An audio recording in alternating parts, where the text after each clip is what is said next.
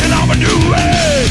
Yeah, the century by the past Or the creation of a new age. Yeah,